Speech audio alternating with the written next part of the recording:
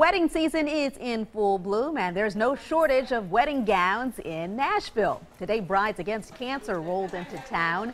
They're selling designer and brand name gowns at a discount, with proceeds going to support cancer patients and their families.